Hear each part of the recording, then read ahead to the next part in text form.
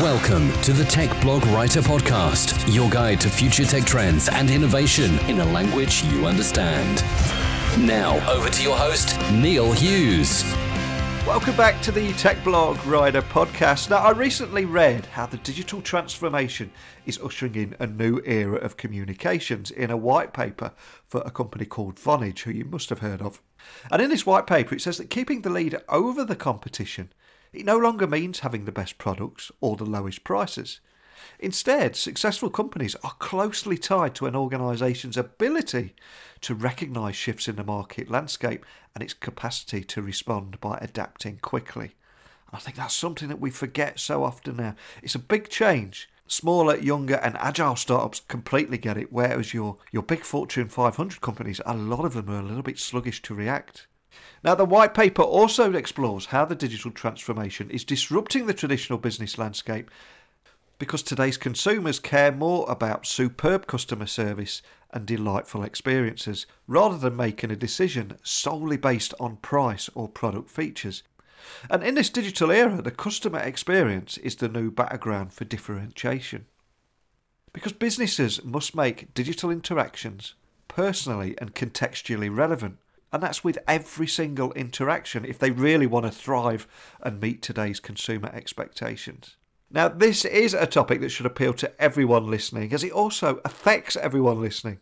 So I invited Omar Javaid, he's the Chief Product Officer at Vonage, where he's going to discuss all those findings voice over IP, omni channel conversations, and also the importance of adapting and delivering meaningful culture change. So buckle up and hold on tight as I beam your ears all the way to California so we can speak with Omar from Vonage. So, a massive warm welcome to the show. Can you tell the listeners a little about who you are and what you do? Sure. Uh, so, Omar Javaid, I'm the Chief Product Officer of Vonage. And basically, I am in charge of all of the you know the, the products that we offer, both the residential products and the enterprise products that we have, as well as uh, the communication APIs, which is the which is part of the Nexmo acquisition that we made about a year and a half ago.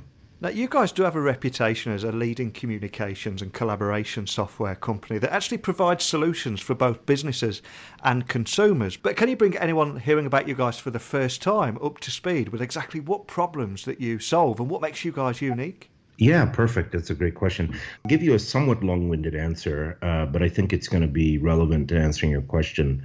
Vonage, we started out as a as a disruptive innovator in, in communications you know, 15 plus years ago, um, because we we realized that broadband would change everything, right? Specifically, the founders of Vonage, one of whom is still on our board, is a uh, our chairman Jeffrey Citron. They saw that broadband would change everything, and that this hundred plus year old telephony network would just become an app on top of broadband, right? And that was what that was the origins of voice over IP. So we were a pioneer in voice over IP. We did that and built this great um, business providing essentially residential telephony um, uh, for for uh, for the home uh, in the U.S. and in the U.K. And it, you know that was a great business for us for a number of years. You know, anybody that's in that business, you see that base, it's not a growth business, right? Really, because of the rise of mobile phones, the desire, really, the fundamental desire that you know that market for home phone service is is definitely not growing, and depending on the market you're talking about, declining, right? So we saw an opportunity you know that same thinking which is where this 100 plus year old network telephony network would become a uh, uh, just an app on top of broadband. We saw the same thing happening in the business market where you know broadband penetration in business provided a similar opportunity. So we entered into the business to business space via a series of acquisitions uh, uh starting about four years ago and we went from nowhere to now number one on a stand you know at least as a pure play uh, based on revenue and, and all of that. So, you know, if you compare us to, you know, what Wall Street analysts, for example, compare us to, all, more, more often than not, are companies like RingCentral and 8x8. So we're actually bigger than them. So it's astounding to think that, you know, from our origins essentially as a resident, you know, as a pioneer in voice over IP to becoming a, a pretty big residential carrier. So we made a shift from basically a telco to a software player uh, in enterprise software and in four years basically went from nowhere in that market to the biggest you know independent player so we've made a lot of strides in a pretty short period of time and it really does seem that with the digital transformation and everything at the moment, it seems to be ushering in a new era of communications. Are there any particular trends that you've noticed and anything that excites you in that area? Yeah, it's a great question. I, um, in many ways, the answer to that leads us to the Nexmo acquisition that we did about a year and a half ago. So, as I was saying, you know, we we we saw this opportunity that that broadband would change everything, and you know, the telephony network would become essentially software on top of a broadband network, and that played out for consumers. That's now playing out for businesses. I think the further evolution of that is that telephony is not an app on top of broadband or won't just be an app on top of broadband. It'll become a feature in applications. That's where communication apis are important and are going to become increasingly important. So maybe the sort of one way to concretize that so you know many people are familiar with uber they've used uber. So you know if you look at the ability to call the driver or the ability to message the driver or for the driver to call you or message you you know that uber app basically powers a $40 billion business, right? Um, and so when Uber looks at, okay, we want to provide in the 60 countries that we operate, for example, we want to be able to provide our customers and our driver network, we, we want to give them the ability to communicate with each other seamlessly. Uh, the, the power of what Nexmo or what these communication APIs do is with a few lines of code, their developers can implement these very sophisticated communication capabilities you know all over the world. So it's a super super power it's almost magical the power of that. So I, I think the this next evolution if you will is really about telephony not is not just an app on top of broadband it's a set of features within applications themselves. And i think that's a tremendous opportunity for us, tremendous opportunity for the industry. It really is. It's exciting and, like you said, magical too. But one thing that many CEOs or business leaders listening will be thinking about is the culture change to make it a success. Because I think culture change is one of the biggest challenges facing businesses across all industries right now. I mean, how do you begin to build a culture of success in a digital age? That's a great question. You know, I think that um, in many many of our customers and many companies that we talk to, they're all grappling with the same thing. And you know, I think they're they even if they're not ready for it, it doesn't really matter what industry you're talking about, right? So if you're if you're talking about, let's say, you know, what up until 10 years ago, 15 years ago was a fairly stodgy industry, which was retail, you have Amazon there now, and Amazon is affecting all sectors of retail right? So they, you know, they're even the grocery industry, for example, right? They acquired Whole Foods, and so uh, so all of these companies from Walmart on down are having to contend with dealing with you know a, a, digital native like like like Amazon, which is just a behemoth. So they're all you know whether they like it or not, or whether they're ready for it or not, they're they're forced to confront this. So you know they, they know that they have to operate differently. They know how they have to embrace um, their own digital transformations because that's what that's what their customers or the consumer expects right? Yeah. and this is across this is across the board. I think um, you know frankly if you look at a company like skype for example my theory on why skype is so popular in enterprises is because really the the rise of the smartphone right? People get smartphones. I i, I think people incorrectly think that um, you know messaging is a millennial thing. It really isn't. I think people get their smartphones, whether it's an iPhone or an Android phone, and they you know they have, get iMessage or WhatsApp, and they love those tools. And when they come to work, they want to use they they want a similar kind of tool. So that I think this is where partly where team messaging has has really taken off. Um, so I think that all these companies you know, and then there's been this whole notion of consumerization of IT. So companies have been having to contend with that on a number of fronts. One is competitive, then the other one is just, you know, changing demographics in the workforce, right? Uh, where I think at least in the U.S., millennials are now are the numerically the largest part of the of, of the workforce. So, you know, so there, there's a number of these things that are driving it. Uh, so, so that's one thing. Whether they, you know, whether they it's sort of ready or not, they have to do it. The other thing that I found helpful in terms of driving cultural change in many ways is at the heart of what we do as a company because we provide communication and collaboration solutions for enterprises. So that makes it our tools, our approach really make it easy for companies for one to provide tools where people can communicate within the company much more easily right? Whether it's a phone call, whether it's team messaging, whether it's sharing information in, in teams and so on and so forth, right? Communication, collaboration. So one part of driving that cultural change is is to is to implement these kinds of tools and then I, you know I've found that the other thing, and this is obviously harder to do in larger and larger companies, but is to encourage. Uh, I know that is to encourage, uh, especially senior executives, to embrace social media. Right? Um, there's a lot of talk. The irony of it is, is that there's a lot of talk about, you know, digital transformation, but in a lot of cases, the people in the in the C-suite, you know, people like myself, many of them are surprisingly not on social media.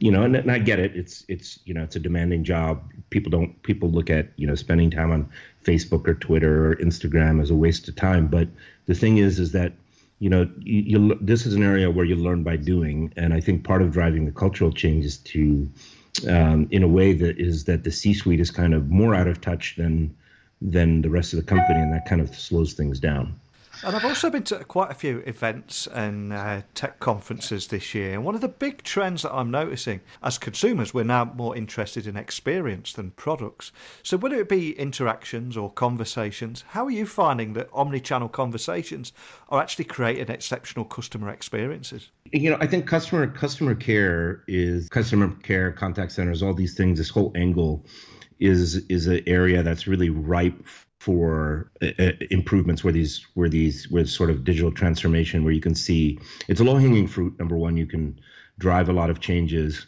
and so uh, you know one way to one way to answer it is so we we we have uh, an API which we are just putting in early access called Stitch, and what that allows us contextual easily to for developers to easily implement contextual communication into their application. So one example of this is chat.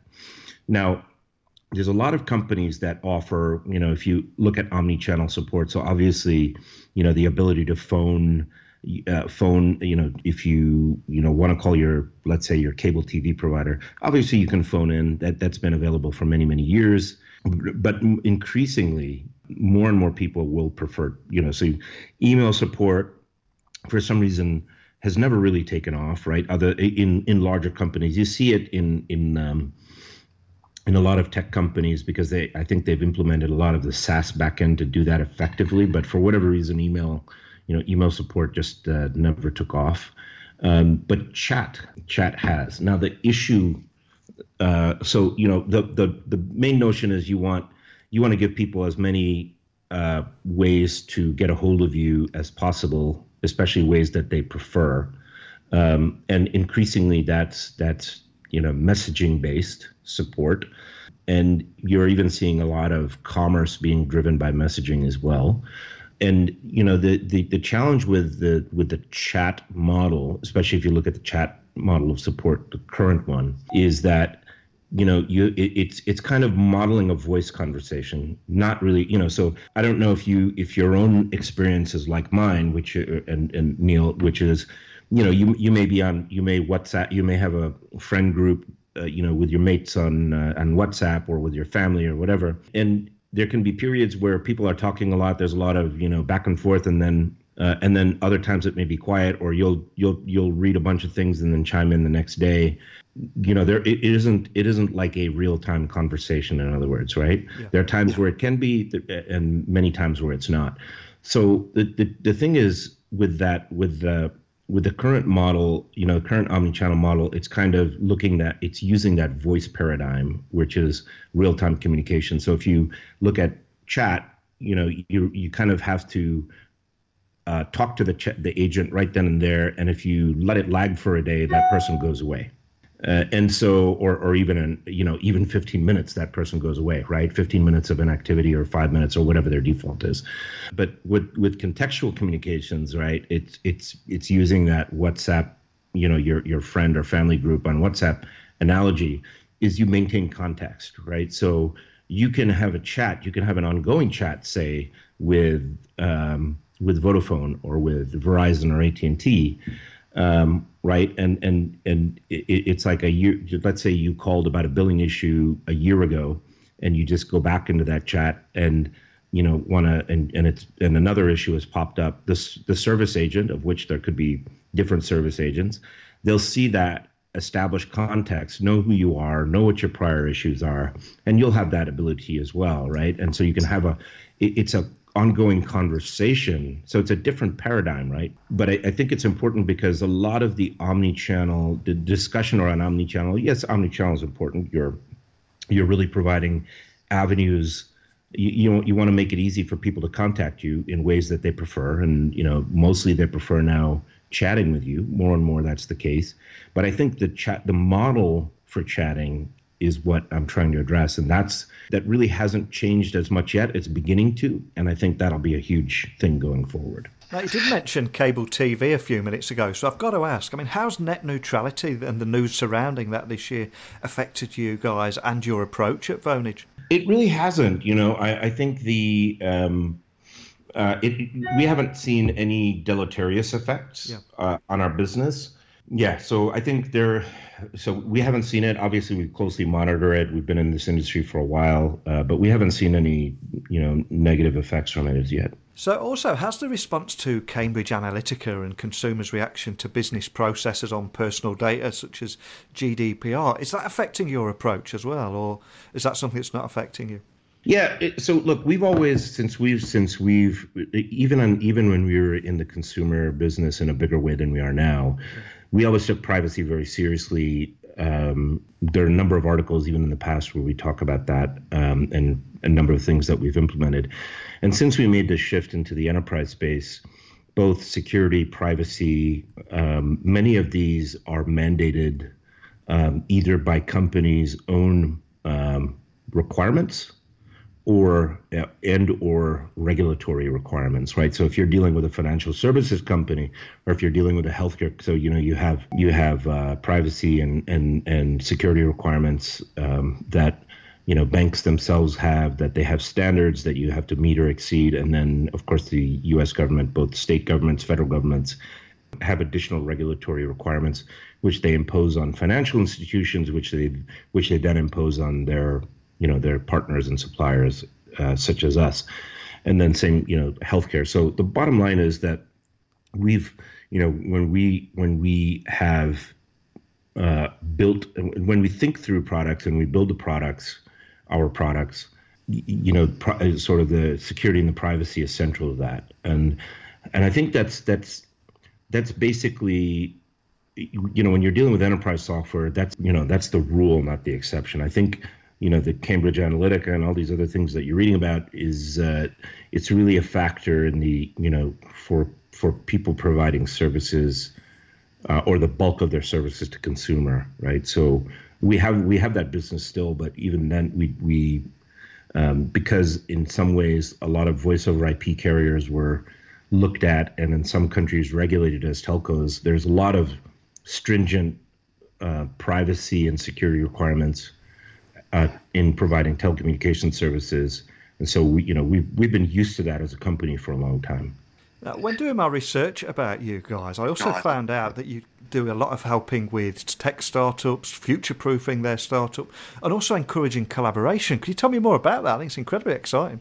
It is. It really is. So we have, and and if you look at Nexmo, right? Nexmo is set. It's it's communication APIs, right? Communication and collaboration APIs, and so we're really targeting developers. But part of what we, you know, in our developer ecosystem is it's really us and Twilio in terms of you know the the the uh, just the sheer scale of our developer ecosystem. And you know one of the ways that you build developer build a developer ecosystem and nurture a developer ecosystem. So we do a number of events and we sponsor things. So there's things like hackathons where um, you know, and and we've even done it. I think in some some I think in U.S. where we've even had, we've even had teams that are in high school still, for example, or you know college students, and they'll win prizes. So that, that's another way you know, in lieu of uh, getting uh, venture investment, for example, you know, where they'll they'll participate in a hackathon and they win a hackathon or an event or solve solve certain problems, um, and they win prizes or or there's other sorts of benefits. So we have a huge uh, developer ecosystem outreach mainly as a part of Nexmo, but that's expanding as we ourselves, you know, have transformed into a pla- as, into a overall platform company. So yeah, that you're right. That is a very exciting aspect of what we do. So, what's next for Vonage? There is there anything else you can share with us today about your plans for the future? Sure. Yeah. Look, we we've we've a couple of things. One is we're firing on all cylinders in terms of coming out with new products, new and innovative products. We, you know, we we've since expanded uh, from being a U.S.-based company and uh, let's say Canada, UK, we were in before, uh, but from the acquisition of Nexmo, we're now, you know, truly a global company we have significant and growing business in Asia Pacific, obviously in in um, Europe, uh, Middle East, and Africa, and Latin America as well. So we've transformed as a company tremendously in the last couple of years, and I think us becoming obviously growing in the U.S. is is is is a given. We're doing that today, and we'll continue to do that. It's a tremendous, you know, the U.S. market is tremendous for us, but we are becoming we're we're already a global company, and I think we're you know we're going to embrace that even more so going forward. Well, a huge thank you for coming on today. But before I do let you go, could I just ask that you remind the listeners of where they can find you online or contact a member of your team if they have any questions about our conversation today? Absolutely. So thank you again, Neil. Um, so look, our our our website is uh, www.vonage, V-O-N-A-G-E dot com and and your listeners are welcome to email me directly for with any questions they may have. Uh, my email address is omar o m a r dot javaid j a v a i d vonage.com. Fantastic. Well, I know how busy you are, so I really do appreciate you taking the time to come on here and speak with me today and share your fantastic story and also how you're giving back as well and helping tech startups. So, a big thank you for coming on. Thank you so much, Neil. I appreciate your time. I really enjoyed it. The big takeaway for me there was that businesses must make digital interactions personal and contextually relevant with every single interaction if they're going to thrive and meet today's consumers' expectations. And culture change is obviously going to play a big part in that.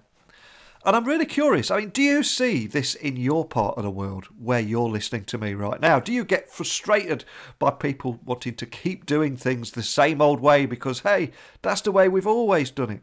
Or do you equally think that the old way is actually better? I want to know. Let me know. As always, email me at techblogwriter at outlook.com or tweet me at Neil C. Hughes. My door is always open to each and every one of you, so feel free to reach out. Now, I'm off to London town now to report live from the show floor at the European Summit for Adobe. So brace your feeds for some pretty cool guests coming your way. but uh, a big thank you for listening, and until next time, don't be a stranger. Thanks for listening to the Tech Blog Writer Podcast. Until next time, remember technology is best when it brings people together.